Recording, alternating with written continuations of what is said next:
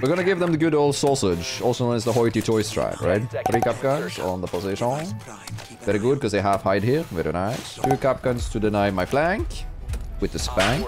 And then position yourself so that the sausage looks like I don't know that my gun is peeking out. And then what are they gonna do? They're gonna die. Sure, they did not know.